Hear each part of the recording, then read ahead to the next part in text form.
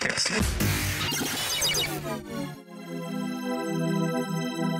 We demystify what goes on behind the therapy room door.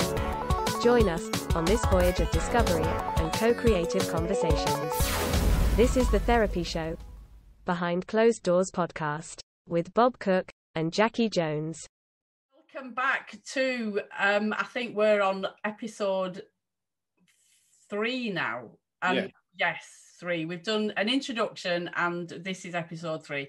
And this week we're going to be talking about assessments, which sounds like you have to go through a test to, in order to have therapy. Is that what this is, Bob? No, it's that's made me laugh in a way because I'm thinking about tests and therapy, and some some people, of course, set tests psychologically, Uh, and they find people to fail them. But that's another story. now, this is really about you know how do you know once you've decided you want a therapist, it's like how do you find the right therapist for you? Now, 2021 is where we are today, and psychotherapy has got a lot more accessible. Yes. I live in Manchester, Didsbury, so if I wanted to have a therapist, there are quite a lot of them. But the problem is, it's a bit like putting a needle in a map. You know, it's like or a haystack, really. Yeah. How do you find someone to suit you? Because therapy is far better if you actually go on with the therapist. Yes. 100%. So, so there are not many places around that do assessments where you can actually see somebody to talk about what you want from therapy and they can point in the right direction. Very few places around that actually do assessments. There are some places around that do referrals. So, for example, uh, well, I can think of a few places, but not many places that do actually half an hour assessments which point in the right direction to a therapist. If you wanted to have a therapist, Jacci, now, for example, what what do you think most people do? Google. A Google large number. somebody near to where you live, I would hazard a guess that's how people go. And then they just look at a picture and think, I like the look of them. Is that what you think most people do? That's my fantasy that what people do. Yeah. You you just you Google therapist near me, and then those therapists usually have a website or something. You have a look at them, see whether you like the look of them, and that's it. That's one way. Now, Obviously not the best. the majority way? I was thinking if we look at between us, let's just look now. That's one way. Another way is to find somebody to is by recommendation. Yes. So I was thinking my daughter, when she was looking for a therapist, the age of, oh God, 20 or 21, even though she was a daughter of two psychotherapists, she lived in a shared house. Um, and she could have, but she went through us. She could have got recommendations but from at least two or three people who'd had psychotherapy. So it can come by recommendation. It's surprising how many people do actually come by recommendation. That's another way. Another way, and a very popular way actually, though I don't know how many people think it's popular, but it is, they go to the doctors. Yes. No, they, they, they say they have anxiety, social anxiety, depression. Um, they often go to the doctors. And unfortunately, well, it's a good first port of call, but doctors aren't psychologically trained. No. So they know a little bit about anxiety and maybe a little bit about depression, but they don't really think psychotherapeutically. Um, and even psychiatrists who really uh, they might end uh, end up uh, being heard by, they don't really know much psychotherapeutically in terms of counselling and therapy. So they know a lot about drugs. And some enlightened counselling practices might have a counsellor attached to them. Yeah. So if you go to a counsellor and you say you're depressed, you've got uh, a counsellor then will do two or three, four things. They probably won't send them to a psychotherapist. They might say if they've got a counsellor attached to their venue, they might say, okay, you can go on a list to see a counsellor next, you know, attached to our GP. Yeah. Or they might send in, send them into the NHS maze, yeah. they might have to wait for quite a long time for CBT or some sort of uh, counselling. you'd be surprised how many people do go to the doctors first. And then they find out that the route to the onwards after that isn't that useful Yeah. because they often have to wait ages in the NHS queue. Many GP centres haven't got counsellors aligned to them because they can't afford it. Yeah. And then uh, they often might get some C- CBT after waiting a very long time, and then they find out the CBT isn't particularly good for them. But actually, where a lot of them go from the doctors, I haven't mentioned it, it's my last on last call, is what they call uh, Beat the Blues website. Don't know if you've heard of it. No, that's a new one. It's a, a website a lot of counsellors will send you to if you've got depression or social anxiety. It's a basically an online CBT uh, uh, sort of series of questions, and you fill in the I don't know how many questions there are, and um, uh, and then you go back to the doctor with it, and then they may refer you on to a CBT therapist. So a lot of people turn up at my institute having done this Beat the Blues questionnaire, uh, and they didn't like it at all, so they end up uh, deciding to go privately. Yeah. See, for a lot of people, the financial side of thing comes into it, and they go to the GP and going the NHS maze, as you fondly refer to it, because it's free. It's like you say, it's eight to 12 weeks of CBT, and usually there's no cost to it. That, that can be the deciding factor for an awful lot of people nowadays. You're absolutely right. And unfortunately, or fortunately, you have to wait quite a long time. Yeah. Uh, if you wanted to see a psychotherapist, not a CBT psychotherapist, I don't think CBT is particularly psychotherapy anyway. No, no. A psychotherapist or a counsellor, uh, you have to wait a damn sight longer. Yeah. There are Uh, quite, I work with, or I have worked with a few charities that, you know, particularly connected with the military. Um, that's something that interests me. That, you know, there are funding places where you can access a counsellor for, I think it's six sessions, you know, that, that is, is good. You know, if you're a veteran or ex-military, Oh, so that, that, that, that, that's really good. So going back to your first point, then you're correct. A lot of people put psychotherapist Manchester, yeah, for example, and up will come our uh, website, the Manchester Institute for Psychotherapy. That has got over 24 therapists there, and we have an assessment process, half an hour with me usually, uh, where I will look at what they want from therapy and then pass them to a therapist of their choice, which in other words match them up. Yeah. So that's that's that way. And See, you just on that topic, that's unique. yes, it is. You know, one of the uh, because I made some notes. I'm very good at making notes, so I made some notes. And the assessment process for me with a client is as much my skill set.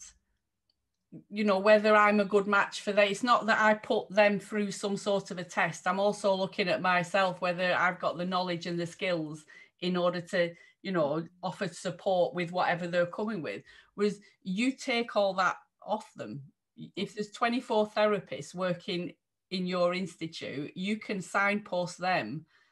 Hmm. You know, gender is is kind of one thing. You know, if if somebody's from the LGBT community, they might want to see a specific, but you know, ethnicity comes into it. You know, cultural beliefs and everything. It's it's all of it as a bearing in the therapy room. Yeah, and that's why people like the idea of an assessment, Yeah, so they can get matched up um, by somebody who knows what they're doing. So I've been doing this assessment process for about over 20 years, I would Wow. think.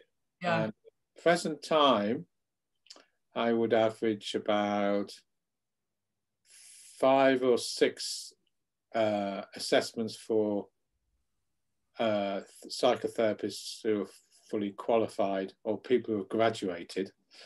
And also at the Manchester Institute, there's a low cost therapy system where you can get therapy for 26 weeks at 15 pounds a therapeutic hour.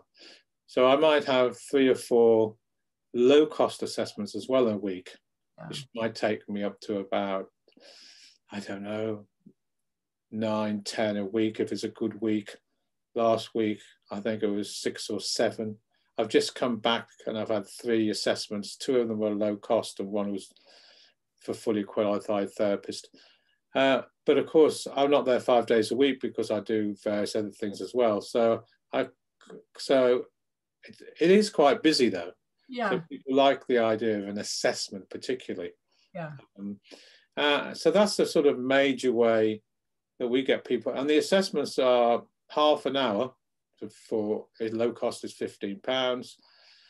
For fully qualified therapists, um, it's 30 pounds. But if you go the low cost route, it's for low income people. So it's for students or people under 15,000 pounds. So it's low income. Which is, is a brilliant resource that you're offering to people, you know, in the locality. I, I did the low cost clinic. That was part of our training when we were oh, doing. Oh, yeah. Yeah. yeah. And yeah. It, you know, it, I thoroughly enjoyed it. It was good that I was still within the institute and had the the comfort of knowing that I was still part of something while I was training. It's invaluable. It isn't. There aren't many places around to do assessments for either of those pathways. Yeah. And um, I'm very proud of that fact. So many people come through assessments. An assessment is quite an, a skilled uh, a quite a skilled job, you know, that I do really. I, I know I've developed it over 20 odd years, but you, you have really 20 minutes to get to find out what they want from therapy. And often they don't know what they want, but they're just there. Many come with social anxiety and depression and stress. So then you need to find out, you know, um, uh, what stops them actually getting to the place they want to get to themselves. And the, there's other things you need to check. You need to check up things like if they've had counselling or therapy before, so that'll give you a big clue into whether they've been down that path or in fact whether they've been in the psychiatric system. Because if they've been in the psychiatric system, they're going to probably have a psychiatrist or they will have, um, you know, psychotherapy might not be suitable for them yeah. because they're fairly disturbed. Yeah. And psychotherapy isn't necessarily the right venue. Um, so I deal with people from that frame as well that might be quite disturbed, and then I need to, it's a different sort of intake process. But I would think a majority of the people I see are, are what I call the neurotic well ca category or the worried well category. And um, mostly it's things like self esteem, confidence, uh, social anxiety, depression, stress, stuff like that. Yeah. The, I, I can remember there was a, a period where I was getting a lot of people that were kind of becoming aware of replaying the same behavior over and over. You know, keep moving jobs and then getting unhappy and then moving to another job and it not being what they thought and then moving to another job. So sometimes it's kind of when they start to become aware of behavior patterns. Absolutely. And when they have a large discomfort in life.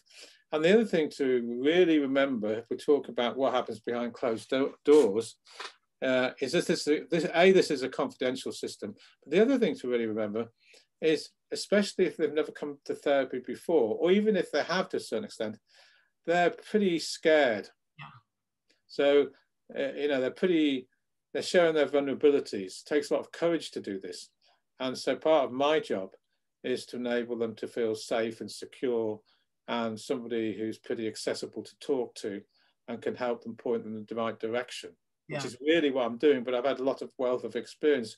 And the other thing, um, eh, I've got the Manchester Institute for Psychotherapy, but across the road, I've got the Manchester Institute Wellbeing Centre with another 10 therapists. So I've got a lot of therapists that I can point them to and matching them up exactly where you started right at the beginning is crucial. Yeah. Because there's so many differences of what people want. You named a few of them from gender to cultural differences to, you know, you, you, you're correct. And that's another, oh, that's bad. I have to know my psychotherapists well, or the psychotherapists yes. who, who work through my institute and the Wellbeing Centre, because uh, I, I, then can match them up really. Uh, it's it's a very there is nowhere like it. I know actually. No, I've I've never heard it being that way. As as somebody that went through the training process, it's a very nurturing environment to be in. You know, mm. yeah. yeah. I'm so, always talking about Manchester Institute. Psychotherapy. Yeah. There's so many courses that I think therapists, psychotherapists, counselors go on where you're in a kind of a bubble and then suddenly released mm. to go and see clients. And as much as it's nerve wracking for the clients to come on their first session, as a psychotherapist, I can remember my first session. Yeah. Seeing a client, he was was in the low cost. Yeah. Yeah but yeah, you, your mind is working overtime. You're just trying to get everything just right before you ease into the process. I used to say to trainees, and I still, I still do, I think, is that when you have your first session as a trainee psychotherapist, stroke counsellor, to remember that the client in front of you who's just come through the door is usually more scared than you. Slightly, only a little bit. uh, I, I always like that because I, I try to remember that it's very important for me to help the person feel at ease. Yeah. In a in that assessment process before we send them off to psychotherapy, because most of them don't know what psychotherapy really entails or what it's about. I mean, you know, it's a talking therapy. Usually, it's about how the past affects the present, but it's an hour where people can actually talk about their vulnerabilities, and that's so new for people. Even though they know they need to be there for many different reasons, perhaps, it's still a pretty daunting prospect. Yeah, yeah. And I think, you know, when you're doing the job day in, day out, it's important to remember that when you see a new client. I, I only work online at the moment. I'm not seeing clients face to face, but I always offer a 30 minute similar to i would imagine your assessment where they come to me free for 30 minutes just so that we can meet each other and see whether we can work together, whether we can be in a room together. You know, that's wonderful, Jacci, because I think it's a really inter- interesting area you've now gone into. So somebody wants therapy. Another thing that may appeal to people, so I'll be really interested in this since you brought this up, is the people that offer free consultancies like you've just said there. So if you came for an assessment with us, it'll cost £30 for the half hour, or if it's low, co- low cost, it costs £15. But you do get therapists, and there's quite a lot of people for different reasons, which offer half an hour free yeah. consultation free. And that's, uh, you know, there's lots of discussion about that. Um, in other words, is it a, is it, it, it, does it actually, you know, for example, what does it model? Is it actually a good space for somebody because they don't have much money? Is it a place where they can learn what therapy is for the first time? And I'll be interested from your perspective, um, your thinking behind having it free. Very valid point that usually because I'm only on Zoom at the moment, Oh. So it's about whether they can access it for a start oh, oh okay. Okay. You know what I mean? If if yeah. there's somebody, I don't want to, you know, disrespect elderly people, but no, no. you know, they can phone me up and be yeah. fine on the phone. But then when they try to get, so the first not so accessible, is it? It's making sure that they know how this would be in a therapist. I understand. I mean, there's a lot of reasons that I like the idea of uh, that free consultation half an hour. And that's because people often have a lack of money. Mm-hmm. Secondly, they've not had therapy and counseling before, so it's like a taster into that world. Thirdly, it's, it's I think it's a very generous um, um, process on behalf of the therapist or counselor. So there's lots of reasons uh, I can see for doing it. And the other one you just mentioned in terms of accessibility and Zoom. So it, it's an interesting one, again, about when you look for a therapist, some people might be attracted by the fact that it's a free consultation and that might appeal to them and get them into um, dealing with their mental health in, you know get get them in the right ever, avenue if you like Yeah. See, I might have just shot myself in the foot because it's not something that I advertise. Oh. What normally happens is somebody will phone me up and contact me and can I book a session? And what I then say when they've already made contact with me is, you know, I can send you a link. We'll have a quick 20 minute, 30 minute chat on Zoom and then we'll see how you feel from there. That's so it's not work. yeah. Yeah. I don't advertise that. I, so maybe I've just shot myself in the foot now, and I might get a load of people. Your- I think it's shown your generosity of soul, and I've said before, there's many therapists and counsellors that offer that. If you go onto one of the biggest directories for finding counsellors and therapists there is on the net, which is counsellingdirectory.co.uk. Yeah. There's far too many. I mean, if you zoom through all those, it'd take you bloody ages, by the way. But if you go through the first, I don't know, six or seven pages, you'll find that quite a lot of people give half an hour consultancy free as a way of, I think, you know, uh, uh, supporting people coming into uh, psychotherapy or counselling for the first time. So you're not alone in that. No, and like I said, for me, it's more the fact that I can assess, you know, their needs and whether I have the right skill set in order to work with them. That's Mm. that's my, you know, reason for Great, doing that. great. Good. So you got, in terms of finding a therapist, let's go on.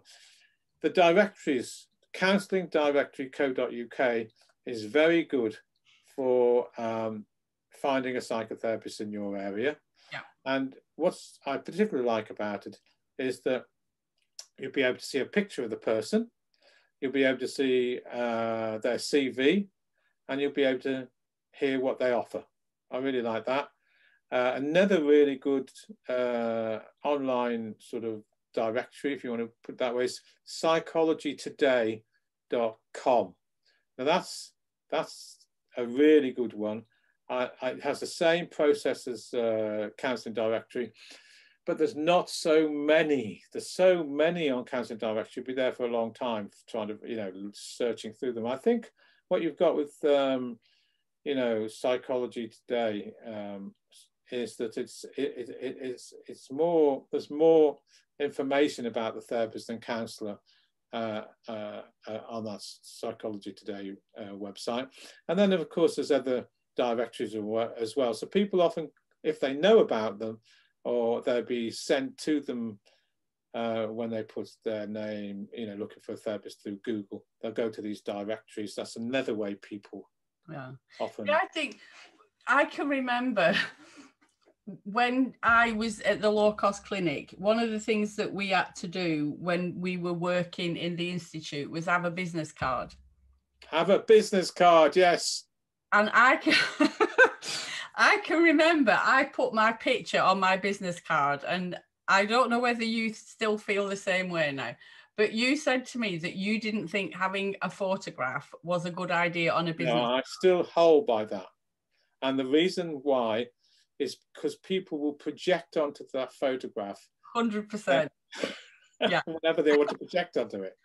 Um, so I were talking don't recommend that. about the counselling directory and everybody's got the picture on that. I don't know why, but my head went to Tinder, you know, the dating app. Well, no, I do know about it. It- It's kind of like that for Yeah, yeah. therapists, isn't it? It's like I like the look of them, I don't like the look of them. Yeah, they that- remind that- me of my dad. That's correct. Exactly it is in terms of projections. Yeah, No, I'm not really one that likes the idea of photographs. Having said that, I haven't been on Counselling Directory for a long, long time to look at how many people have photographs on it, but I know there is quite a few of them.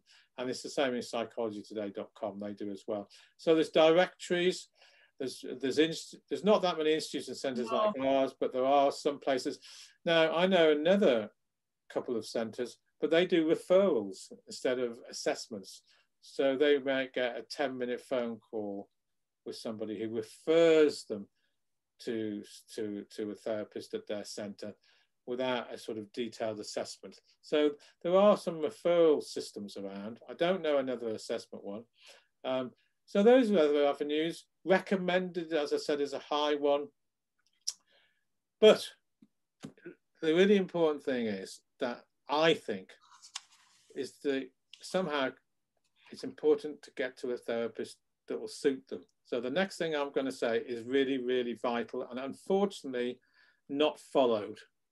And that is for the people that don't go through assessments systems, they don't go through referrals, they don't go through directories, or even if they do, they go to a therapist, it's very, very important they get on with them. Yeah. Too many people just stay in the therapy or counseling hoping it will get better or think it's their fault. Yeah. My tip is that if you don't get on with the therapist, leave them.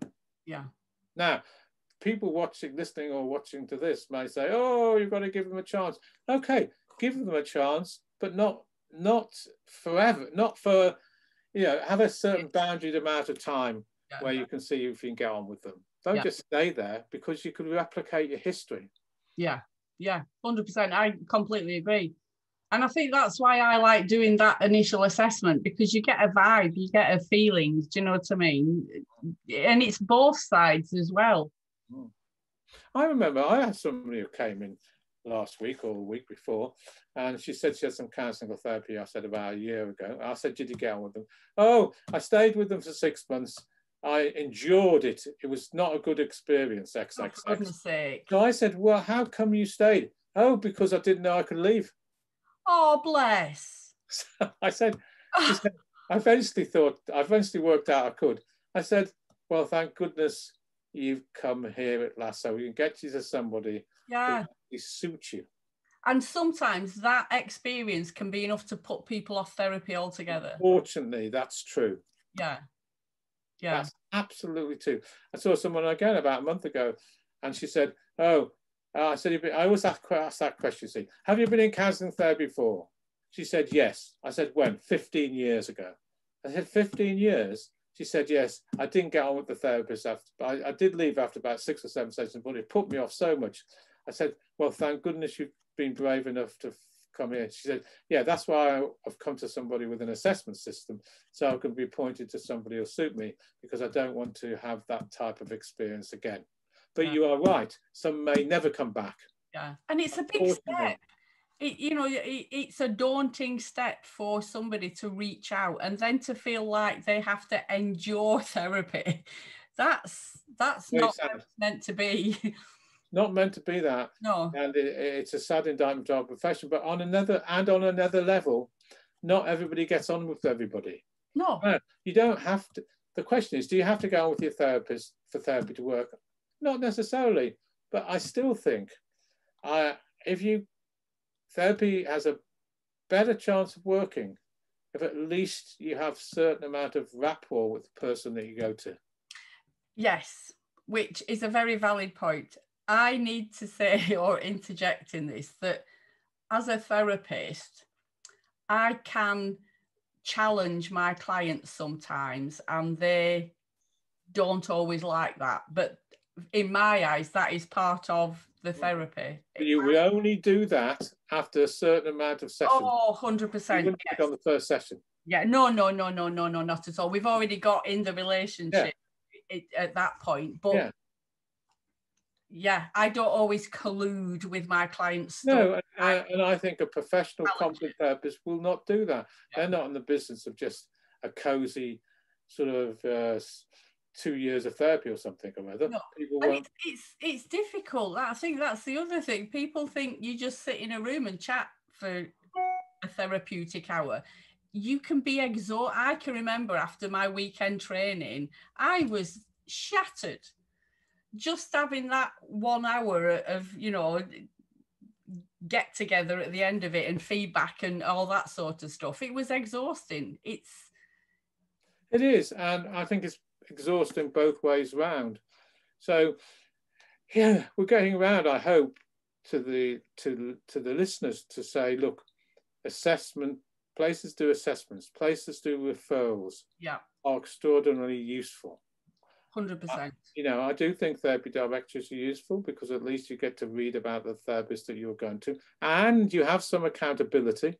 Yes. And assessment centres like mine, you have a, some sense of accountability, and with referral places, uh, which is a good thing. And, um, you know, I, I really hope people listen to this will think about if they are go down this road, and I really applaud you to do if there's a lot of discomfort in your life and you need to reach out, find somebody who will suit you. And I think the best places are the places that offer referrals and assessment processes, or at least a directory, or best of all, a recommendation. Yeah, yeah. I, I, I do think it, you know, like your institute, there's a certain amount of safety and security walking into that building, knowing that that is the job 100% of the time that you do. Do you know what I mean? The experience that is in that building is, mm. yeah, it's second to none. So yeah, go to Bob's. If you're anywhere near Manchester, check yeah, out. Or, or at least somewhere that's got a referral system or you've got a recommendation. Now, the recommendation might come from the doctors. Yeah. yeah. But there's nothing wrong with that either. Um, so don't just put a pin in the map.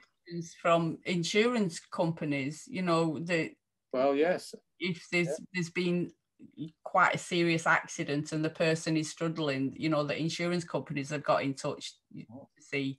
But yeah, it's not a pin in the map. It's not the the nearest the worst thing to do. The best one. Yeah, yeah. That's absolutely the worst thing to do. And please don't stay in therapy because you think you can't leave. Or please don't stay in therapy because you think that there's something wrong with you and the therapist, by some God divine right, can, uh, you know, uh, treat you in the ways which you don't feel respectful as a human being. Yeah, 100%. Yeah. And, uh, and you know we, we every relationship which i'm sure we will talk about in the many many weeks to come of us doing the therapy show we co-create relationships and there's a dynamic that you know an energy that goes backwards and forwards in that it's not one person is wholly responsible for it but you've got to be comfortable enough to share yeah. some stuff in that room and if you're feeling yeah. criticized or judged or shame or any of that stuff one uh-huh. talk about it you are right. And maybe we'll obviously get onto this on another podcast. And I, and I could, as I said off air before we started, I could talk forever about these things. I know. Another, there is another point. I know we'll have to end soon, but there is another point that I may have to disagree with you. I don't have to, but at least I'd like to have another viewpoint. I think it is the, I, I, I know enough about co-creation and I, I understand and I agree with you in the way that you're talking. However, stroke and, I think it is the duty of the professional therapist and counsellor to be the one that actually goes out of the way to make sure the environment, etc., is a safe, secure environment in the first sessions for the people who have reached out to be able to talk. Yeah, yeah, 100%. Yeah. And, you know, when we're not just talking about the therapeutic environment, it's the physical environment as well. You know, that the room is at a certain temperature, that there's somewhere nice to sit, that, you know, it's, it's quiet and it's not over here, there's not a lot of background. There's an awful lot of stuff that you need to be mindful of. Absolutely. So it isn't just about a co, it is a co-creator relationship, but it needs to be led by the therapist at the beginning protection, permission, and potency. That always sticks in my head. That's those are the three. Three P's. three three P's of the psychotherapeutic lexicon. That's absolutely right. So. Uh, so Holding really them in a safe space and, and that they can trust that you're going to be there holding them in that safe space because it is nerve-wracking yes and I, I know we'll come to the end of the podcast so I really do hope um, listeners bear this in mind that it's important to spend some time finding the right therapist for yourselves. Yeah, yeah. And don't give up after the first one. If it doesn't work out, it's not personal. Try again. Yeah. So what are we doing on the next episode, Bob? Have we have we decided? Are we going to surprise people? Are we moving on? I think it's logical we do that we're moving on to the first session. Okay, sounds good. The initial session. Yeah. I'm not talking about the assessment. The assessment is the pathway or the paving to the right therapist. So we're going to assume that Joe Bloggs now has got the right therapist, has been matched up, or at least recommended, or at least gone through the directory, or whatever, all the things we were talked. So now they've arranged a first session. Now we're going to contact. talk about what happens in that first session. Now, there is so much to this. Uh, I think we're waiting bated anticipation, but uh, I, I, I would enjoy talking about this. So until the next episode, Bob, thank you so much. Thank you. I shall speak to you soon. You certainly will. You've been listening to The Therapy Show, Behind Closed Doors podcast. We hope you enjoyed the show. Don't forget to subscribe and leave us a review. We'll be back next week with another episode.